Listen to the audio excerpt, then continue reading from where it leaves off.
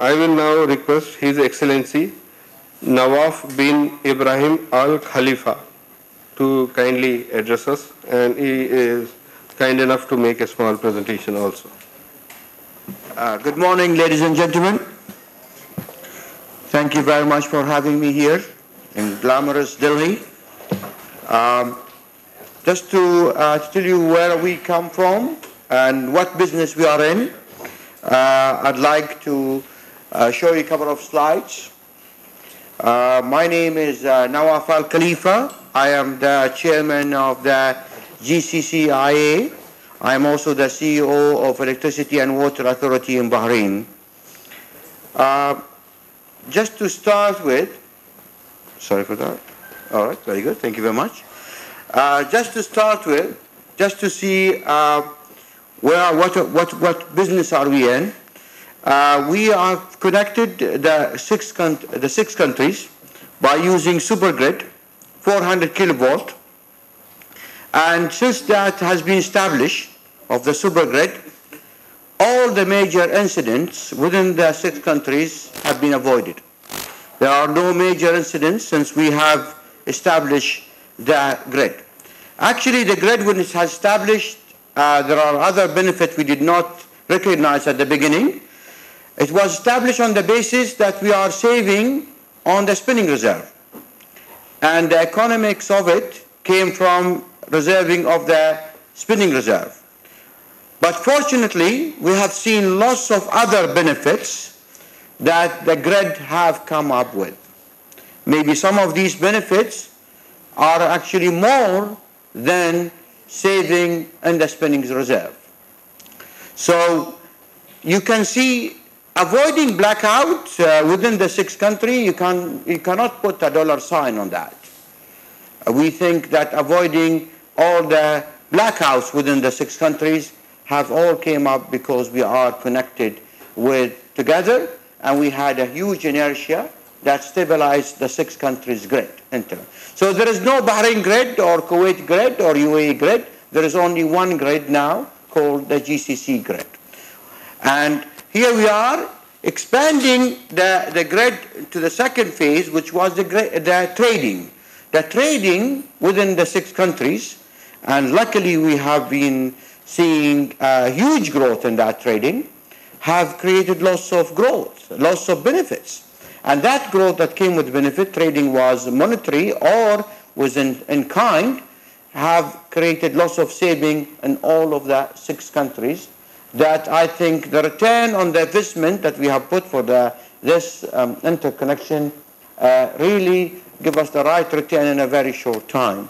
Now we want to expand more. My previous speaker was talking about 2,000 mega.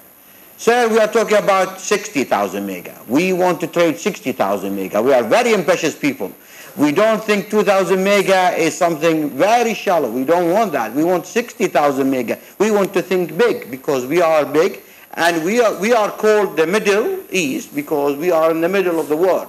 So since we are in the middle of the world, we want to trade from the right to the left, north to the south. We're going to be in the middle and we have 60,000 mega to trade. So therefore, just to tell you, this is the history where we, we have been. Now I will tell you where we want to go. So connecting from Kuwait to Oman in one grid. Ladies and gentlemen, in one grid, and if I tell you that some of the incident that happens in Oman, the response of the machines in Kuwait was faster to stabilize the current in Oman than the machine in Oman itself. So that's to tell you the benefits of the grid. Now we want to go beyond. And I think uh, India is the first gate to us. Uh, in 1950s, our currency was rupee. I am very familiar with the currency rupee because my fathers and grandfathers, when they talk about monetary aspect, they speak in rupee. So we think we have a, a very strong relationship with India. If you go to Bombay, you will understand what I mean. So therefore, I, I think we should get this trading back again, not in pearl, not in wood, but in electricity. Electricity can be traded better than anything else. So therefore, I, I think we can go to there to, uh, to that, beyond that region. So let me tell you what we think about what is the electricity market is going to see. We believe the electricity market, the only constant world in electricity market is change. Change will be there. It's a very agile market. We can see the changes in that market. So the way we perceive the market nowadays, how it's being perceived, will change. Electrons will be transferred from one place to another, and it will be faster than you think. So therefore, lots of challenges is coming with this change, this dynamic environment. They say first you shape your environment, then your environment will shape you. So our environment will shape us. It will shape us because of the technology that comes with. Now more of the customers are becoming prosumers, they are producing electricity, uh, the, the signal, uh, the, the, the, the uh, the transmission of one line transmission is not anymore there. You have prosumers, you have more people are, and the consumer himself is very keen on the environment, on the NOx, on the carbon dioxide, and he wants to share this. So he will play a great role. So that's why we are going to be in business by stabilizing that current, stabilizing all of these networks. So we can see when we talk about energy in the future is going to be meaning one word, electricity. Energy, energy, you don't mean gas, you don't mean anything. Energy means electricity and nothing else. So you can use them exchangeably. Electricity means energy, energy means electricity. Why? Because it is available, it's clean, it's the environmental friendly, the consumer is in the driving seat. So all of this will make electricity is the energy and energy is the electricity. So therefore, we are in the right business, ladies and gentlemen. We think we are in the right business, the business that will have growth. And I like when I have a business and I'm growth, it means we are sustainable, we're going to be there, and we can also transfer that knowledge to our children and grandchildren, so they can be also electrical engineers. So electricity business is going to boom in the future. So here we are. This is what we think it's going in the future have going to have lots of challenges. It's going to have so we have to change and adapt to those new challenges. And one of the adaptation and change to that environment is to to connect, to connect among different content. As, as you have mentioned, right, uh, mentioned uh, my previous another speaker, he mentioned that when it is night in one place, it's daytime, and then you can transfer electricity from one place to another. So therefore, electricity will be a commodity that is going to be uh, transferred from one, another, one place to another, and there will be a settlement for those electricity bills. So let me see how much power we have and how much we have traded. You see, within the Gulf, within the Gulf market, we have we can see there's a huge growth in exchange. We still want more to, from that, but because of the capacity availability, make that trading limited a little bit, but it's going to grow to be uh, in the future. It's going to have lots of growth because we have put the spot market, we're going trading, and confidence is building up. Very important, ladies and gentlemen, in the trade, that confidence has to be there. That when a time I need to buy, you're ready to sell me. And that's because electricity is as important as air. When it is 48 degrees outside, electricity is as air to live. So therefore, confidence level has to be increased. So therefore, we think within the renewable, each have renewable. So in renewable, what does it require? It requires stability. And stability in the network require a grid, a super grid to stabilize that electricity. So maybe in the future we're not going to sell kilowatt, we're going to sell kilowatt with inertia or kilowatt without inertia. That had diff two different prices. The way we're going to price electricity is going to be different. So we have to open our mind that electricity with inertia have maybe higher value than electricity without inertia. So therefore, a grid will play a great role in how electricity is going to be priced because each kilowatt have a different uh, different purpose in stabilizing the network and stabilizing. So therefore, this is an opportunity and a threat at the same time.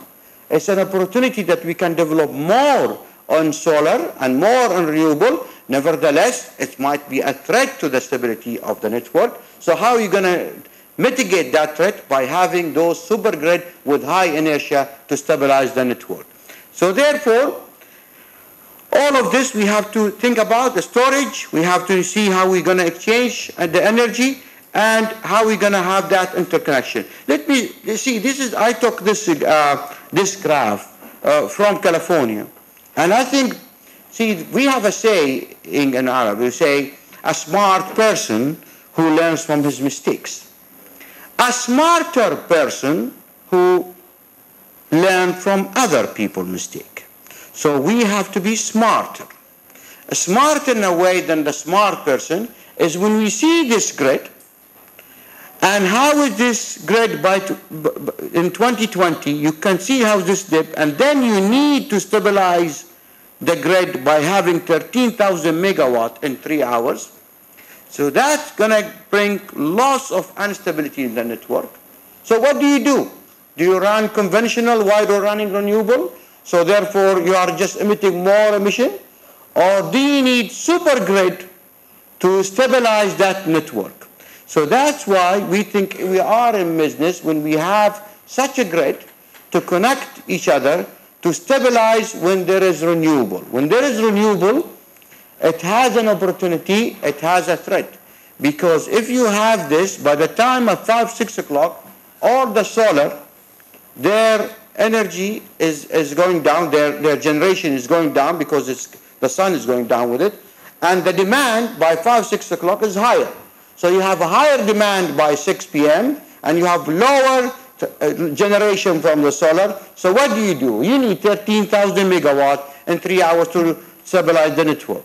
So here we are, if we are connected together, and we have that solar, then we can stabilize that network, I would say, more economically. Because you can stabilize it not in a economical economical way. Uh, this is the thing. We need, we, the, the electricity is needed, available and reliable, but in the most economical price. If it, electricity is available and reliable, but with a, with a very high price, then it's like you don't have it. Because electricity has to do with growth, it has to do with uh, well living of the people.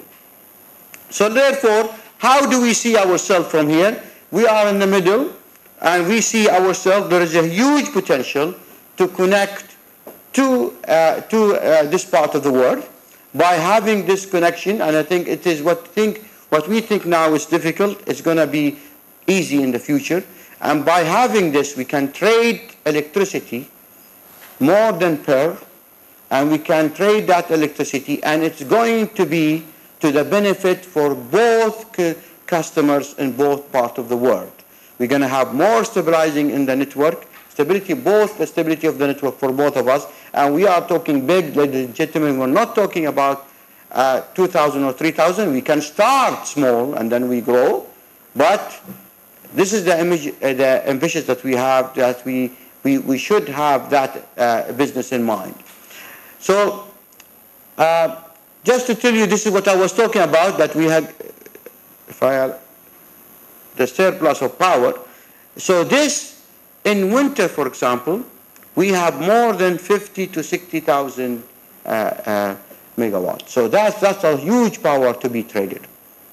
And this is because of the cyclicality of the business we have. We have a huge demand in summer, and then in winter is around one, two, three between summer and winter. So therefore, uh, I think uh, the challenges we are going to have lots of challenges, and, and of course in cybersecurity, and, and if there's lots of challenges, but we have to mitigate those challenges, and we have to be up to that environment ch changes. So this is what we think in the future of uh, what the grid is going to be worldwide, and it's going to be sooner than we think that this is going to be. What is going to drive that is technology and the importance of electricity because electricity is going to be energy and because electricity can come from renewable sources and more and more demand of our customer that they would like to have more renewable electricity in the future. By this, ladies and gentlemen, I conclude my speech and I'll be more than happy later on to answer any of your questions in the roundtable discussion. Thank you very much.